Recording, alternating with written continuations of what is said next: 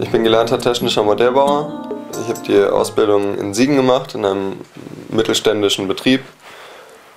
Und ähm, dort dann auch zwei Jahre gearbeitet und bin jetzt seit April diesen Jahres ähm, äh, äh seit April diesen Jahres bin ich als äh, Betonbauer unterwegs.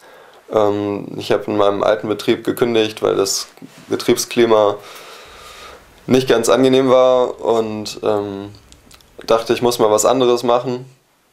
Und jetzt fahre ich sozusagen von Baustelle zu Baustelle, stehen montags früh auf, fahren dann um halb fünf oder fünf Uhr los auf irgendeine Baustelle, bleiben dort dann äh, die Woche, schlafen abends im Hotel, man kommt dann müde an, ist dann ja, völlig fertig von der Arbeit, aber es ist auf eine gewisse Art und Weise auch einfach schön, mal so eine Erfahrung zu machen, körperlich zu arbeiten.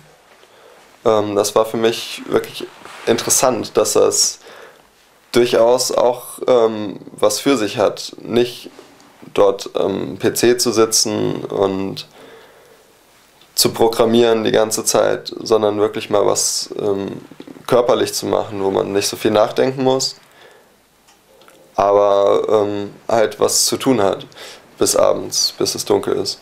Ist auf jeden Fall nichts, was man sein Leben lang machen möchte, ähm, weil es nicht nur sehr anstrengend ist, sondern auf Dauer natürlich auch irgendwie ein bisschen eintönig wird, ähm, ja, schwere Eisen durch die Gegend zu schleppen und ähm, Beton in die Fugen zu ziehen, sondern ähm, ich mache das jetzt hauptsächlich, um ein bisschen Geld zu sparen, damit ich äh, mir Reisen leisten kann.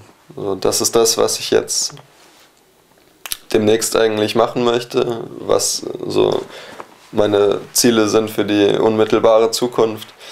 Äh, ich möchte mit meinem besten Freund zunächst ähm, mir Europa angucken, einfach mal los, Rucksack auf und dann mit dem Zug oder per Anhalter uns das angucken ähm, und sehen, wo wir rauskommen. Also Vielleicht landen wir in Spanien, vielleicht landen wir in Kroatien, vielleicht machen wir auch eine einzige Tour, vielleicht kommen wir auch durch Dänemark oder Norwegen, Nordkap, das wäre auch so eine Sache da oben. Mein, mein größtes Reiseziel ist äh, Kanada. Dort würde ich gerne auf einem Kajak den Yukon hinunterfahren. Man kann dort ähm,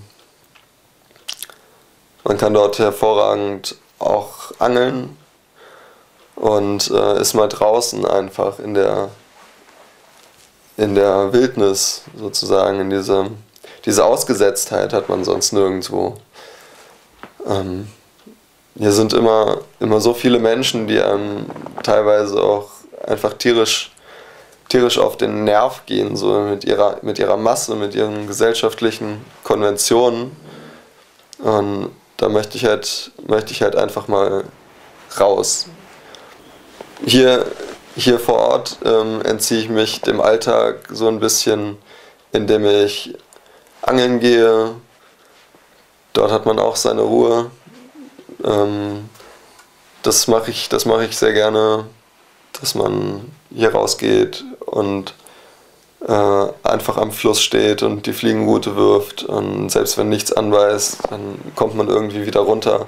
Man ist so ein bisschen bei sich. Hier in der Lahn gibt es viele äh, Forellen und Eschen, die man fangen kann. Ähm, und in der, in der Stadt bei Marburg ist tatsächlich ähm, sogar eine sehr gute Strecke, um Hechte zu fangen. Das führt teilweise zu lustigen Situationen, wenn Spaziergänger oder Touristen da sind, die sich die Stadt angucken und man hat dann einen dicken Hecht dran. Äh, das führt manchmal zu regelrechten Menschenaufläufen.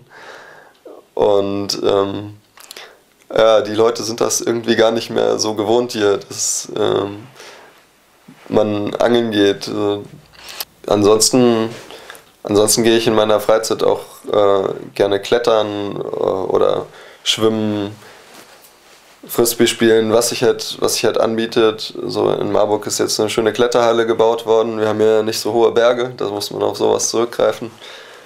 Und ansonsten jongliere ich gerne. Ich werfe mit Bällen und äh, spiele einen sogenannten Drachenstab, den man über den Körper rollen lässt. Dann auch mit Feuer. Das ist, ist eine sehr angenehme, sehr angenehme Community. Ähm, die auch europaweit vernetzt ist. Man trifft sich auf ähm, Jonglage-Conventions, wo eine sehr losgelöste Stimmung herrscht, wo ja, die gesellschaftlichen Konventionen so ein bisschen aufgehoben, aufgehoben sind. Ähm, es ist offener, herzlicher. Und, äh, ich gehe gerne auf solche Veranstaltungen. Ich gehe auch gerne auf Musikfestivals. Ähm, wo man sich so ein bisschen gehen lassen kann und ähm, nicht so sehr darauf achten muss, irgendwie, ähm, wie werde ich jetzt gesehen. Man hat ja oft so ein bisschen eine Maske auf und äh, die lässt man dort fallen. Ja, das diese Festivals und ähm, Jongliertreffen, die gibt es sehr viele in Deutschland, aber das ist eigentlich eine Gemeinschaft, die immer größer wird. Ähm, die Europäische Jonglier-Convention war dieses Jahr in Südtirol, nächstes Jahr wird sie ähm, bei Amsterdam sein. Ähm, in, in Tschechien und Polen gibt es äh, auch einige sehr schöne Festivals. Nächstes Jahr möchte ich auf die Boom fahren, nach Portugal. Das ist ein äh, großes Goa-Festival. Ja, Marburg an sich ist eine sehr schöne Stadt. Ähm, es gibt eine Altstadt, die den Berg hochgeht. Obendrauf ist das Schloss. Dafür ist die Stadt auch ähm, bekannt. Das äh, Landgrafenschloss. Und unten im Tal fließt die Lahn. Ähm, dort ist auch die Universität angesiedelt. Die ist ähm, bekannt für Medizin und Geisteswissenschaften. Da, von daher kommen sehr viele junge Menschen auch aus der ganzen Welt nach Marburg, um hier zu studieren. Und das führt dazu, dass man hier sehr viele junge Menschen hat. Ähm, es sind auf, ich glaube, 80.000 Einwohner, sind hier 26.000 Studenten dieses Jahr. Und das ist natürlich für mich als jungen Menschen eine schöne Sache, dort einfach in die Stadt gehen zu können. Es ist immer was los. Also wenn man dort in die Altstadt geht, ist die Kneipendichte sehr hoch und ähm, man kann dort auch, wenn man einfach mal ohne Plan losgeht, ähm, ja, den einen oder anderen witzigen Abend erleben. Ja, manchmal, manchmal würde man, oder manchmal, manchmal wünsche ich mir, dass die Menschen im Alltag einfach auch offen und herzlicher miteinander umgehen würden. Dass wir entwickeln uns so zu einer Gesellschaft, in der man nicht mehr das Gefühl hat, so richtig, so richtig sein zu können. Ähm, es wird immer viel von Toleranz geredet und ähm, dass wir alle miteinander, alle miteinander leben, aber das wird, es wird nicht wirklich gelebt. So, ähm, also wir, wir merken das ja jetzt gerade auch hier in Marburg ist ein Flüchtlingsheim, wo jetzt, äh, ich glaube, 600 oder 700 äh, Syrer untergebracht sind. Und ähm, wenn man die Leute fragt, dann sagen sie, ja, natürlich, das ist, ist super, dass, äh, dass sie da sind. Äh, ähm, natürlich nehmen wir die auf und überall hängen ähm, Refugees Welcome Plakate. Aber wenn man so durch die Straßen geht, ähm, kümmert sich eigentlich keiner so wirklich darum und jeder hat so diesen, diesen Tunnelblick und jeder ist, ist für sich und hat, hat keine, keinen Blick für diese Menschen, äh, die von außerhalb äh, kommen und versuchen hier in die Gesellschaft reinzufinden.